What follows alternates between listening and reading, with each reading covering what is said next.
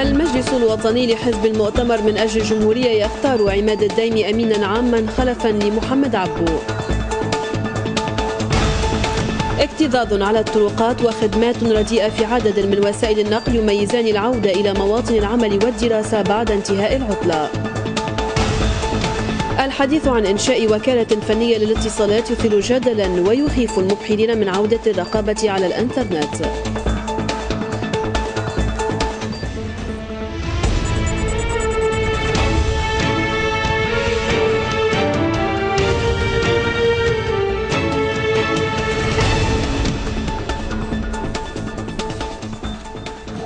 مشاهدينا الكرام السلام عليكم واهلا بكم. تمكن اعوان الأمن في باب سويق اليوم من إلقاء القبض على شخص يمتلك مسدسا صغير الحجم بعد أن نسيه في سيارته الخاصة لدى إيداعها إياها للغسيل في إحدى محطات التنظيف بجهة سيدي حسين وتم كشف الأمر لما تفطن عامل التنظيف إلى وجود مسدس وقام بإخراج طلقة نارية أدت إلى إصابته على مستوى إصبعه لتتعقب الوحدات الأمنية الأمنية إثر ذلك هذا الشخص وتلقي القبض عليه ثم تبين أن هذا المسدس تم إدخاله من أحد الدول الأوروبية. وبتنقل وحدات الأمن إلى منزل هذا الشخص تم العثور على أسلحة تمثلت في بنادق صيد ومسدسات. ولمزيد من التفاصيل حول هذا الحادث ينضم إلينا عبر الهاتف السيد محمد علي العروي الناطق الرسمي باسم إدارة الإدارة العامة للأمن الوطني. سيد محمد علي هل من تفاصيل جديدة حول هذا الحادث؟ مرحبا بك. هو تقريبا انت شر معناها قلت على جميع التفاصيل واللي هي نحب نعاودها لك بسرعة. اللي هو الوحدات الامنيه اليوم تقريبا على الساعة الثانية بعد الزوال قامت بالقاء القبض على الشخص هذا اللي اللي فر من محطة البنزين. أثر تفطن العامل الموجود في المحطة إلى وجود آه، مسدس في آه، في السيارة ذي وقت اللي كان يقوم بعملية الغسل نتاعها قام باستعمال المسدس عن طريقه إنه هو يجهل تقريبا آه، جل المسدس هذا وقام باستعماله خطأ خرجت منه اطلاقه أصابته في صبعه إلا أنه الشخص هذا ما حبش يمتثل إلى الوحدات الأمنية وفر من المحطة نتاع البنزين قامت بتعقب وثم ألقت عليه القبض في جهة آه، باب سويقة تقريبا وين مستشفى الرابطة. تم نعم سيد سيد محمد علي التحقيقات الأولية هل تبين مصدر هذه الأسلحة أو البلد الذي هو مصدر هذه الأسلحة؟ وربما هل هذا الشخص ارتباط بتنظيم أو بحزب سياسي؟ آه، بالنسبة للشخص هذا تم استشارة النيابة العمومية وتم إيقافه وحسب الأبحاث الأولية قام بإدخالها من أحد الدول الأوروبية. ومبدئيا ما عندوش حتى انتماءات لا دينيه الدولة لو, لو تذكر لنا هذه الدولة الأوروبية التي أدخل منها السلاح. من أحد الدول من أحد الدول الأوروبية ما نحبوش نعطيه تفاصيل نعم. في, في انتظار أنه التحقيقات نزيدوا أكثر نتعمقوا في التحقيقات. أما حبيت نشير لك إلى ملاحظة أخرى أنه أنه تم تفتيش منزل الشخص هذا أثر عملية إلقاء القبض عليه وتم معناها الكشف عن وجود زوز مسدسات أخرين وثمانية سيف غير مرخص. نعم السيد محمد علي العروي الناطق الرسمي باسم الإدارة العامة للأمن الوطني. شكرا جزيلا لك. تم اليوم خلال اختتام أشغال المجلس الوطني الثالث لحزب المؤتمر من أجل الجمهورية الذي تواصل على امتداد يومين تم اختيار عماد الدايمي أمينا عاما جديدا لحزب المؤتمر من أجل الجمهورية ويخلف عماد الدايمي محمد عبو بعد استقالته من الأمانة العامة للحزب إثر خلافات مع عدد من أعضاء الحزب حول المشاركة في الحكومة والتحويل التحوير الوزاري الأخير. بعد التصدع الذي شهده حزب المؤتمر من أجل الجمهورية في الأشهر الأخيرة بانشقاق عدد من مناضليه لاختلافات في الرأي حول تحالفاته وأدائه في السلطة. اليوم نراه من خلال المجلس الوطني الثالث يبعث برسالة تبرز توافقا داخليا. تمثل في اختيار عماد الديمي أمينا عاما جديدا بالإجماع خلفا لمحمد عبو. كان فما رغبة في التركيز على وحدة الحزب أغلب المكاتب معظم المكاتب يعني الجهوية حضرت. يعني إيه يعني لكن فما تصويت هل الرشح ولا وكان فما رغبة في أنه نمشيو بشكل توافقي والتركيز الرسالة هي التوافق لأنه بعد الأزمة الداخلية الأخرانية المجلس الوطني قرر بكل سيادية انه يوجه رسالة نتاع نحب التوافق داخل الحزب. ملفات عديدة تبسط اليوم على طاولة الأمين العام الجديد للحزب أبرزها الإعداد للمؤتمر الوطني للحزب الذي سيعقد قريبا والاستعداد للانتخابات القادمة في ظل خسارة الحزب لبعض من إشعاعه حسب الكثير من الملاحظين بسبب دوره في الترويكا الحاكمة. مهمتي في الفترة القادمة هي المساهمة مع كل أعضاء الحزب ومناضليه في إعادة بناء مؤسسة الحزب على أساس سليم. وسنكون ستكون لدينا جهد كبير في الفترة القادمة في استكمال بناء مؤسساتنا وفي ترسيخ هويتنا وتجدير خطنا السياسي. والتوجه إلى معناها المرحلة القادمة بأكثر عزم وبأكثر جهد وبأكثر التفاف حول حزب المؤتمر وحول مبادئ حزب المؤتمر. المؤتمر. رئيس الجمهورية المؤقت محمد المنصف المرزوقي الرئيس الشرفي لحزب المؤتمر من أجل الجمهورية بعث أمس برسالة إلى المجلس الوطني للمؤتمر أكد من خلالها على أن الحزب ليس عدوا للنهضة ولن يكون يوما تابعا لها. هو حليف استراتيجي مع التكتل الحليف الاستراتيجي الآخر ويجب التعامل معهما بكل نزاهة لا بالشك المزمن حسب تعبيره. أكد عدنان منصر الناطق الرسمي باسم رئاسة الجمهورية أن تصريح رئيس الجمهورية المؤقت في الدوحة الذي قال فيه أن المشانق ستنصب للعلمانيين المتطرفين في حال صعودهم إلى السلطة تم توظيفه سياسيا من قبل شق وصفه بالمتطرف يهاجم دائما دون هواد رئيس الجمهورية وبين منصر على هامش المجلس الوطني لحزب المؤتمر من أجل الجمهورية أن المنصف المرزوقي لم يكن يوما متناقضا في مواقفه بل متجانسا منذ أن كان في المعارضة. عندما يكون لرئيس الجمهورية مواقف آه، أو يعبر عن مواقف حدثية بطبيعة الحال يجد الصد والنقد الشديد وحتى التكفير من طرف يعني الشق تكفيري كامل وفي اليمين وعندما تكون آه، يعني آه، انتقاداته موجهة للأداء السياسي للمعارضة فإنه يجد رد فعل قوي جدا. هذا الأمر سيزيد نقول أنا وحتى لو لم تكن هناك تصريحات منصف مرزوقي هذا الأمر سيزيد في الفترة القادمة. حتى لو بقي منصف مرزوقي ساكتا طيلة الأشهر القادمة. سيزيد باعتبار أن هذه الأطراف دخلت في حملة انتخابية وتعتبر أن موسى مرزوقي يمكن آه، يعني يشكل آه، تهديد لها وهو يشكل تخوف لها وبالتالي المسألة سياسية ولا علاقة لها مطلقا بتصريحاتها. دعت ما يجري بالأمينة العامة للحزب الجمهوري إلى حوار وطني من أجل الوصول إلى اتفاق حول عدد من المسائل من بينها تحديد تاريخ الانتخابات القادمة وتاريخ الانتهاء من الدستور والاتفاق أيضا على إجراءات حول موضوع الأمن وحل رابطات الثورة. كما طرحت ما يجري خلال الاجتماع الذي تم على هامشه تركيز فرع الحزب في معتمدية مكثر من ولاية سليانة طرحت مسألة الاتفاق على آليات عاجلة وسريعة لتجميد الأسعار وضرورة وضع منوال تنمية جديد في تونس. أكد الحزب الجمهوري خلال هذا الاجتماع على ضرورة وضع منوال تنموي جديد في تونس في ظل ما اعتبره تهميشا للجهات الداخلية رغم إمكانياتها التنموية الهامة. وانتقد الحزب أداء الحكومة في التعامل مع عديد الملفات الضرورية والعاجلة.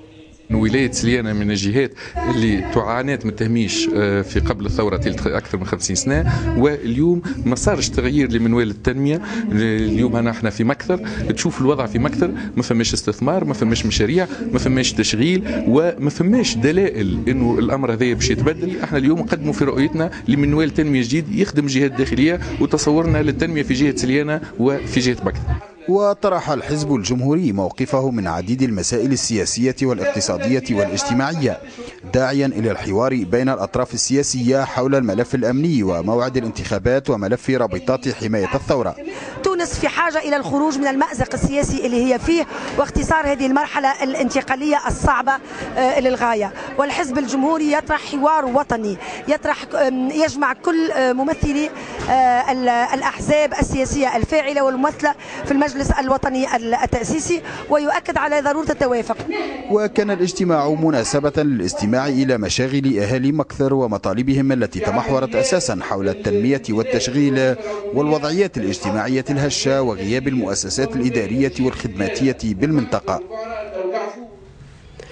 قال المنسق العام لحزب القطب رياض بن فضل إن حزبه بصدد توطيد العلاقات مع الجبهة الشعبية رغم التباينات بينهما من أجل تكوين ائتلاف مدني وسياسي قوي لكسب الاستحقاق الانتخابي القادم واستكمال أهداف الثورة. وأوضح بن فضل لدى إشرافه اليوم بصفاقس على اجتماع شعبي انتظم تحت شعار يسار ديمقراطي بديل لبناء جبهة وطنية ديمقراطية. أوضح أن حركة النهضة تستمد قوتها من ضعف الطيف الديمقراطي اليساري وشتاته الذي أدى به إلى نكسة انتخابات الثالث والعشرين من أكتوبر 11 و2000 حسب تعبيره. عد تنازلي صلب لجنة التشريع العام بالمجلس الوطني التأسيسي لتمرير مشروع قانون التحصين السياسي للثورة للتصويت عليه في جلسة عامة ورغم ما يثيره القانون من جدل واسع لدى بعض الأوساط السياسية المعارضة فإن ثقة كبيرة تحدو مسانديه بأن يحظى بالمصادقة ويهدف مشروع القانون إلى إقصاء قيادات التجمع من الانخراط في العمل السياسي. بإذن قضائي حل التجمع الدستوري الديمقراطي بعيد الثورة استجابة لمطالب الجماهير التي خرجت آنذاك لتقول عاليا وبصوت واحد ارسيدي ديجاج حل الحزب وكان انتصارا ثانيا للشعب بأن قضي على جسد النظام بعد قطع رأسه. حل التجمع ولكن بقيت لعنته تتبع الكثيرين لتتصيدهم بعض الأحزاب وخاصة الحاكمة من خلال مشروع قانون التحسين السياسي للثورة. قانون يقطع مع عودة هؤلاء إلى سدة الحكم. الحكم. المعارضة وإن كانت رافضة للقانون جملة وتفصيلا فإنها تشترط في حال تطبيقه أن ينسحب على الحقبة النوفمبرية وتحديدا الرجوع في الإقصاء إلى تاريخ الثامن من نوفمبر 87 و900 وألف أي بعد يوم على تولي الرئيس السابق مقاليد الحكم. نحب نفهم علاش يقف 8 أبريل؟ علاش ما يبداش من 87 من اللي بدا بن علي؟ أنا نحب نجاوب على خاطر وقت حركة النهضة كانت في علاقة حميميه مع بن علي وفي 88 صحوا الميثاق الوطني مع بن علي كما الناس الكل.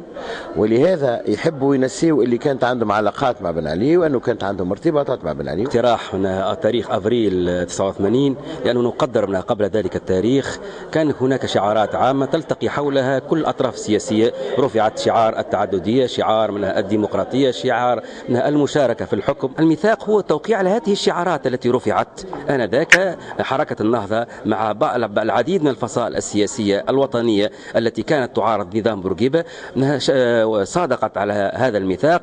أحزاب المعارضة وفي مقدمتها حركة نداء تونس بقيادة الباجي قيد السبسي تعتبر هذا القانون إقصائيا بامتياز وترى أن الأحزاب التي تمارس هذا الإقصاء لا تخلو في عضويتها من تجمعيين. يجب التذكير بأن حركة النهضة وداخل حركة النهضة هناك العديد من التجمعيين المعنيين هناك العديد من المسؤولين اللي كانوا ينضم ينضويوا آه، معناها في تحت التجمع المنحل. هناك حتى نواب داخل المجلس الوطني التأسيسي كانوا تجمعيين ولا هم بطاقات تجمعية وهذه مسألة نعرفوها.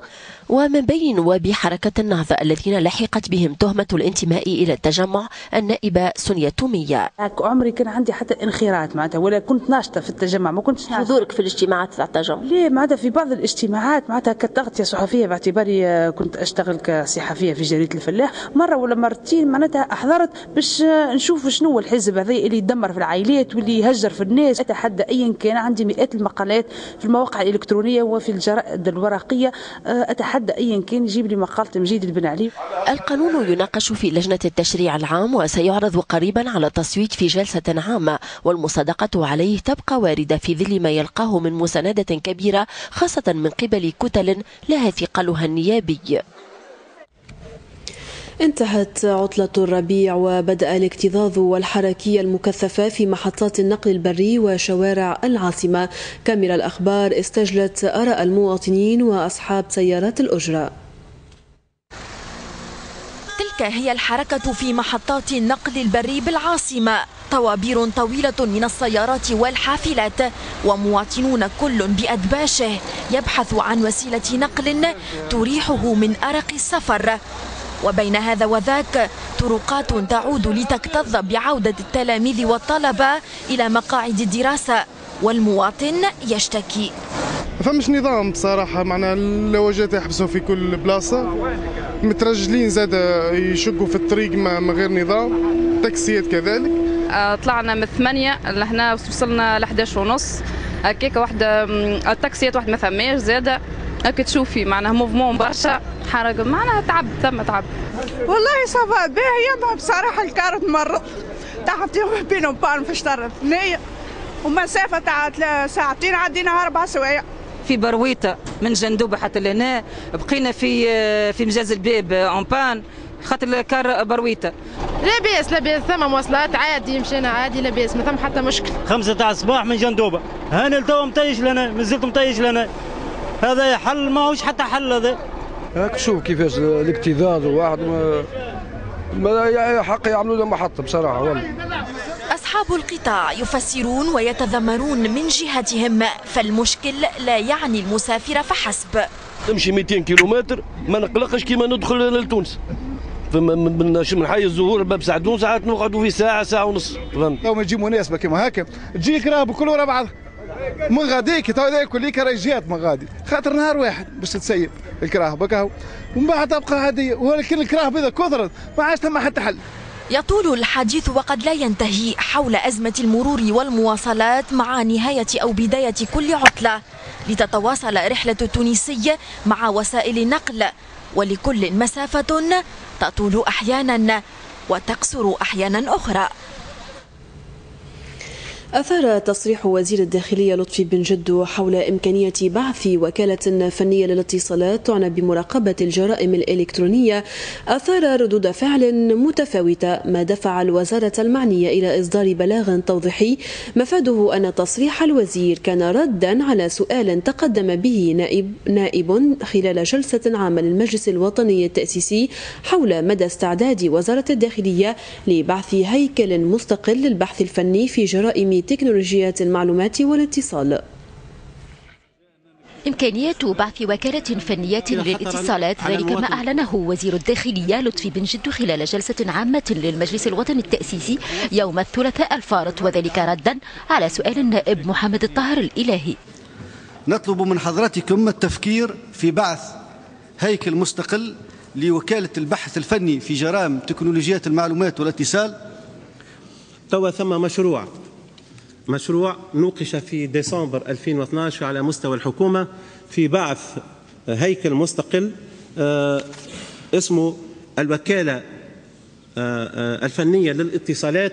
ثم مشروع قانون في هذا في هذا في هذا الصدد نجم ندكم به في ضمانات كبيرة ياسر لأنه كله يعتمد على أذون قضائية في في في في مجمله. إحداث هذه الوكالة أثار ردود فعل ومخاوف من أن تكون بداية رقابة على الإنترنت وعودة للحجب الإلكتروني. التفكير توا في الوقت هذا في في في معناها إجراءات من هذا النوع. ما نتصورش بكل صدق انه أنه هكاك بريء ما نتصورش اليوم أنه الجرائم الإلكترونية في تونس هي أولوية أمنية. هما كيقولوا إحنا باش نراقبوا المجرمين فقط. لازم الناس تعرف اللي ما ينجموش يراقبوا بالمنظومة هذه. المجرمين فما حتى منظومة تراقب المجرمين فقط. هذوما معدات تتحط وباش ينجموا يوصلوا يراقبوا المجرمين لازمهم يراقبوا الناس الكل. ورفعا لكل التباس أصدرت وزارة الداخلية بلاغا توضيحيا مفاده أن وزارة تكنولوجيات المعلومات والاتصال هي الجهة المكلفة بإعداد مشروع إحداث وكالة فنية للاتصالات. كما أكدت الوزارة أنه منذ الثورة قطعت جميع الروابط الفنية التي كانت تربط الوكالة التونسية للإنترنت بمصالح وزارة الداخلية ما أكدته الوكالة بدورها. بعد 14 في ما عادش فما العلاقة المباشرة بين وزارة الداخلية وال الوكالة التونسية للإنترنت في مجال البحث في جرائم تكنولوجيا المعلومات والاتصال وتلزت يعني المصالح المختصة يعني المصالح الفنية المختصة بالوكالة التونسية للإنترنت بتقديم الدعم الفني في البحث في جرائم تكنولوجيا المعلومات والاتصال بمقتضى يعني تساخير وإنابات عدلية. ترد معناها على الوكالة من معناتها من القضاء ومن النيابة العمومية. جرائم الإنترنت متنوعة وفق الوكالة التونسية للإنترنت منها الاقتصادية ومنها المتصلة بالأخلاق والإرهاب وقرصنة صفحات التواصل الاجتماعي والبريد الإلكتروني علما أن عددها تجاوز الألف منذ اندلاع الثورة. رغم ما تمثله من خطورة على صحة المستهلك وافتقارها إلى مواصفات الجودة تشهد السلع المعروضة على قارعة الطريق إقبالا متزايدا بسبب ملائمتها للمقدرة الشرائية للمواطن العادي الذي يتقاضى راتبا متواضعا. منتجات ورغم ترحيب العديد بها إلا أن هناك من يرفضها ويدعو إلى تكثيف المراقبة الاقتصادية للحد من انتشارها في أسواقنا وتوعية المستهلك بخطورتها. علب سجائر لعب أطفال ومواد تجميل. سلع غزت شوارع العاصمة وأقبل عليها البعض فيما هجرها الكثيرون. إقبال أرجعه البعض إلى رخص أثمانها فيما شكك البعض الآخر في جودتها. خاطر سوامهم معقول اسوامهم باهي معناتها مش بالضرورة إني لقيت سوم رخيص يعني أنا نمشي طول نشري ونسارع باش نستعمله آه، ونقول مثلا ما عنديش باش نشري الماركات الغاليه ولا خاطر تلقاهم bon marché وتلقاهم مرخص من برشا بلايص أخرين. ما عنديش فيهم ثقه ال qualité ماهيش باهية خاصة ال qualité ماهيش باهية ما عنديش فيهم ثقه سلع متنوعة وأثمان زهيدة جذبت المواطن الذي أنهكه غلاء الأسعار فنسي مخاطر وأضرار هذه المواد. المواد هذه مدامي هي ما تخضعش للرقابة يعني تنجم تكون محتوية على مواد سامة. وعادة المواد السامة هذه عندها الصبغة التراكمية يعني البدن وقت ياخذ كمية ولو ضئيلة من المواد السامة ما ينجمش يتخلص منها وتتراكم بمفعول الوقت. أطراف عدة تدخلت في هذا الموضوع من خلال حملات تحسيسية للمواطنين أو إجراءات ردعية للمخالفين. تكثيف عملية المراقبة على مستوى مسالك التوزيع والنقاط الحساسة بالطرقات وبالأسواق الموازية لتصدي لهذه الظاهرة وحجز المنتوجات هذه وحتى الإتلاف نتاعها. سيف توا داخل علينا نحضروا في حملة نتاع المياه المعدنية اللي موجودة في قارعة الطريق اللي في الشمس موجودة. وما نعرفوش التداعيات نتاعها بعد. اليوم المستهلك نوجهوه قل له ترد بالك اليوم سلاحك في يدك. يا خويا علاش أنت تقدم؟ راهي صحتك قبل كل شيء راهي صحتك قبل مكتوبك. تخصيص فضاءات خاصة لبيع هذه المواد عوض عرضها على قارعة الطريق. قد يمثل حلا يمكن من مراقبة هذه السلع. فيجنب المواطنين أضرارها ويوفر مواطن شغل للعاطلين.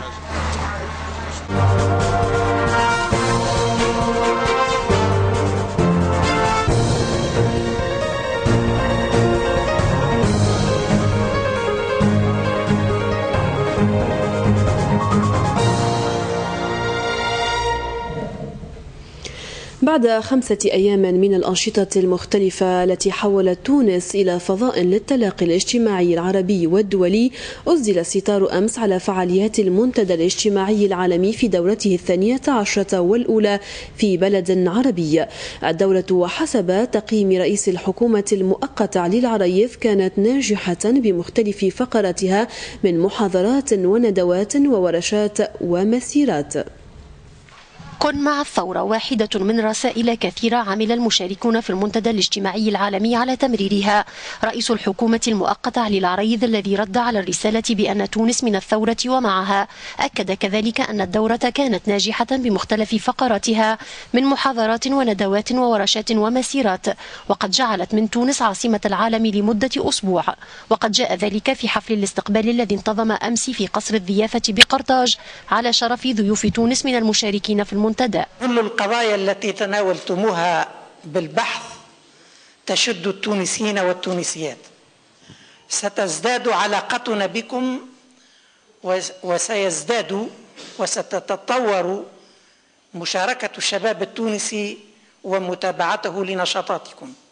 نجاح التظاهرة وعلى حد تأكيد منسق المنتدى الاجتماعي المغاربي يعود بالأساس إلى مناخ الحرية المتوفر في تونس حيث اقتصر دور السلطات التونسية على تقديم الدعم اللوجستي. لم يكن هناك إطلاقا أي تدخل من طرف السلطات التونسية لإعطاء أو تدخل في استقلالية المنتدى الاجتماعي الدولي. كما أكد العديد من المشاركين في المنتدى أن هذه الدورة ورغم بعض الهينات على مستوى التنظيم تميزت بكثافة الأنشطة والتجمعات التي نظمتها آلاف المنظمات غير الحكومية حيث شاركت في هذا المنتدى أكثر من أربعة آلاف جمعية جمعتها مبادئ المنتدى الذي يرفض الهيمنة الليبرالية ويبحث عن عالم تسوده العدالة الاجتماعية وحقوق الإنسان.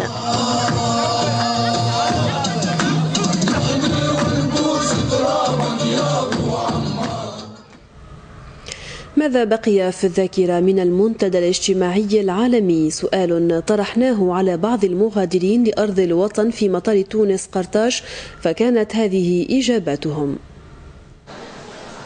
وهم يستعدون للعودة إلى بلدانهم بعد مشاركتهم في المنتدى الاجتماعي العالمي. علق بعضهم بلغات مختلفة وبلهجات موسيقية أنيقة. عن صورة التي علقت بأذهانهم عن تونس. تونس بلد باهية جدا جدا جدا. تونس زوينة بزاف. في مطار تونس قرطاج عثرنا صدفة على هذه الناشطة الحقوقية البرازيلية تماما كما وجدناها يوم الافتتاح. لم تغير رأيها في مشاركتها بل ترسخ مثل عدد ممن التقينا بهم. كان من الصعب أن يكون التنظيم في هذه المرحلة الانتقالية أحسن مما لاحظناه. ولكن الشباب كان متعاونا ومتضامنا ونحن نشكركم على ذلك. وجدت الشباب منفتحا على الحضارات والثقافات الأخرى. كانوا متعاونين جدا خاصة مع الأجانب. تونس فيها ملان طاقات للتغيير إيه وبس إحنا بس أنا شفت إنه هن قادرين وبيآمنوا إنه هن بيقدروا يغيروا وهن غيروا كثير أشياء والتغيير ما زال مستمر والثورة حسب رأيي ما زالت مستمرة. هذا الشيء هسه بده يخليني أرجع على فلسطين مع مشحونة بكثير طاقات إيجابية. مشاركة المرأة في هذا المنتدى لفتت انتباه عدد من المشاركين كما هو حال الأمن الذي توفر خلال الفعاليات ولم يكن منتظرا حسب عدد من مستجوبين. حيث la sécurité en tant que telle ça c'est vraiment important فاش كتكون بلد عنده ثورة خرج من ثورة عندنا انتظار بأن يمكن في, في الشارع ما يكونش ما تكونش تخرج على خاطرك ما تكونش en sécurité mais ça c'est très bien ça vraiment bien été يعني المرأة موجودة شفتها بشكل فرادى مش بمنظمات وممثلات لمنظمات. يعني موجودة كانت المرأة في المنتدى. هذا بعض ما ستحمله الذاكرة عن تونس خاصة باتجاه البلدان الأوروبية والأمريكية والعربية وهي خير طريقة للترويج لها إنها طريقة من الفم إلى الأذن.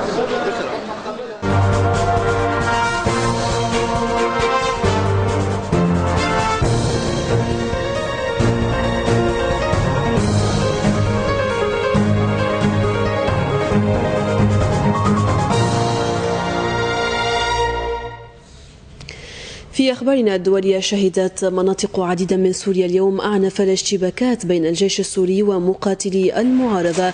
إذا فادت مصادر المعارضة تحقيقها لتقدم مهم في درعا وسيطرتها على 25 كيلومترا من الشريط الحدودي مع الأردن. كما أفاد المرصد السوري لحقوق الإنسان أن الطيران الحربي شن غارات عديدة على بلدتي داعل وخربة غزال الواقعة تحت سيطرة المعارضة. خرج آلاف الأشخاص إلى شوارع العاصمة المغربية الرباط للتظاهر احتجاجا على السياسة الاجتماعية للحكومة التي يقودها عبد الإله بن كيران. المظاهرة التي دعا إليها اتحادان نقبيان مغربيان من المقربين إلى اليسار شارك فيها سياسيون وحقوقيون ورفعت خلالها خمس مطالب. في مقدمتها تنظيم حوار اجتماعي ثلاثي يشارك فيه أرباب العمل من القطاع الخاص والحكومة والنقابات من أجل تدعيم الحريات النقبية التي يرى المتظاهرون أنها مقيدة بعدد من القوانين والقرارات الحكومية. وفقا لتقييم أولي قتل ثلاثة مسلحين بتومبكتو شمال مالي بعد اندلاع اشتباكات بين قوات مالية تدعمها مقاتلات فرنسية ومسلحين عقب هجوم انتحاري. استهدف نقطة تفتيش عسكرية بالمدينة. وقال متحدث باسم الجيش المالي إن قتالا عنيفا ما زال يدور بين الجانبين مضيفا أن متمردين نفذوا هجوما انتحاريا بسيارة ملغومة بهدف تشتيت الانتباه حتى يتم تمكن المسلحون المتمردون من دخول مدينة تومبكتو ليلا. في أخبار الرياضة تأهل نجم الساحلي ونادي صفاقسي من المجموعة الثانية لمرحلة تتويج بطولة الرابطة المحترفة الأولى لكرة القدم فيما تأجل الحسم في المجموعة الأولى بعد فوز الترجي الرياضي على النادي الإفريقي وتعادل النادي البنزرتي مع الترجي الجرجيسي. حسم الترجي الرياضي التونسي لفائدته دربي العاصمة الذي جمعه بغريمه التقليدي النادي الإفريقي بالفوز عليه بثلاثية مقابل هدف في قمة مباريات الجولة الثالثة عشرة من بطولة الرابطة المحترفة الأولى للمجموعة الأولى. الغاني هاريسون أفول كان قد منح التقدم لترجي العاصمة. قبل أن يدرك بلال العيفة التعادل للإفريقي من ركلة جزاء وبدأ الترجي إثر ذلك مصرا على إضافة هدف ثان خصوصا مع الارتباك الواضح في محور دفاع الأفارقة وكان له ما أراد عندما أضاف شمس الدين الذوادي الهدف الثاني. وفي الفترة الثانية انتظر الجميع استفاقة من الجانب الإفريقي وبدأ التسرع جليا على أبناء المدرب الكوكي الذين لم يتفادوا هدفا ثالثا حمل التوقيع الجزائري البلايلي لتبقى الجولة القادمة والأخيرة حاسمة لأمر التأهل إلى مرحلة التتويج. واستغلال النادي البنزرتي تعادل بهدف لمثله مع ترجي الجنوب رافعا رصيده إلى 23 نقطة في المركز الثالث ليبقى معنيا بمرحلة التتويج وبانتظاره مباراتين ضد كل أولمبيك الكاف وشبيبة القيروان. وكان كمال زعيم تقدم بهدف للبنزرتي قبل أن يدرك حسام سليمان التعادل لترجي جرجيس الذي رفع رصيده بالمناسبة إلى 12 نقطة. وبملعب زويت تغلب نادي حمام الأنف بهدف دون مقابل على الملعب التونسي رافع رصيده إلى 17 نقطة في المركز الرابع في ترتيب المجموعة الثانية التي ضمن فيها النجم الساحلي ونادي صفاقسي التأهل إلى مرحلة التتويج بعد تعادل النجم الساحلي سلبا مع جاره الاتحاد المنستيري في مفتتح الجولة وفوز نادي صفاقسي اليوم. وفي باقي المباريات حقق فريق شبيبة قيروان تعادلا ثمينا خارج ميدانه بهدف لهدف مع أولمبيك الكاف ورفع الأولمبي الباجي رصيده إلى عشر نقاط بعد تغلبه في اللحظات الأخيرة على مستقبل مرسى بهدفين لهدف وازدادت وضعية قوافل قفصة تأزما أسفل ترتيب المجموعة الثانية بعد الهزيمة بثلاثية مقابل هدف أمام نادي صفاقسي فيما رفع الملعب الجابسي رصيده إلى 15 نقطة بعد فوزه بثلاثة أهداف مقابل هدف على أمل حمام سوسة ليتأجل أمر النزول والبقاء البقاء بالنسبة لأندية أسفل الترتيب للجولة القادمة التي ستكون حاسمة. وفي كرة القدم الأوروبية أجل دورتموند فوز بايرن ميونخ بالبطولة الألمانية بانتصاره على شتوتغارت. وفوت فاينورد فرصة تصدر البطولة الهولندية مؤقتا بخسارته ضد هيرنفان. عودة إلى تونس فبعد توقف دام سنتين عاد مهرجان ابن خداش للقصور الجبلية في مدنين بأجواء متميزة وفعاليات تسعى للتعريف بالمخزون الثقافي والتراثي للمنطقة. وقد استقطب المهرجان مشاركين من تونس ومن خارجها. مسرحية تتحدث عن نضال أهل ابن خداش عبر التاريخ. هي أولى الفقرات التي افتتح بها الاستعراض الختامي للدورة الثامنة لمهرجان القصور الجبلية بمعتمدية بن خداش من ولاية مدنين مسرحية من ضمن فقرات عديدة عروض فروسية وشعر شعبي إلى جانب لوحات تجسد تراث الجهة. شوف عرسنا وعاداتنا المهرجان عاد بعد سنتين من الانقطاع وعاد معه جمهوره الذي ألف مواكبة مختلف فقراته. باهي باهي والله باهي. معناها شيء يفرح. المنطقة ما عندهاش شنو ترفيه ما عندهاش شنو باش يمشوا معناها وين. عندهم هذا هو المهرجان الوحيد المتنفس الوحيد باش يمشوا يتفرهدوا فيه حاولنا أن بإمكانياتنا البسيطة أن ننشر الفرحة في وجوه الناس بنخداش حاولنا أن نبرز خصائص ابن خداش. حاولنا أن نبرز المواقع الأثرية بابن خداش. هي محاولة إن شاء الله كنا قد كن نكون قد نجحنا. هذا وشهد المهرجان مشاركة من دول شقيقة إلى جانب مشاركات محلية أثثت الفقرات المتنوعة. شاركنا بفرقة شعبية و وشاركنا في المهرجان لأول مرة يعني. والله رائع جدا. مشاركات رائعة وحضور رائع. نحن في الوقت نفسه عندما نريد أن نعرف بتراثنا فنحن نحاول أن نتقرب أكثر من تراث تونس الشقيقة واستكشافه. هذا المهرجان في دورته السابقة تحت مسمى مهرجان القرى الجبلية ليتحول عنوانه إلى القصور الجبلية لما تزخر به هذه المنطقة من قصور ومعالم أثرية.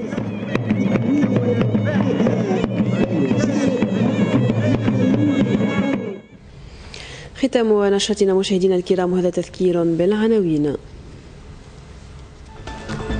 المجلس الوطني لحزب المؤتمر من أجل الجمهورية يختار عماد الدايمي أمينا عاما خلفا لمحمد عبو.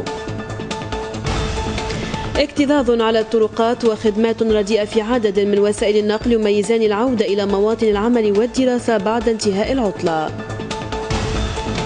الحديث عن إنشاء وكالة فنية للاتصالات يثير جدلا ويخيف المبحرين من عودة الرقابة على الإنترنت. وفي الختام نشكر لكم حسن المتابعة والاهتمام وإلى اللقاء.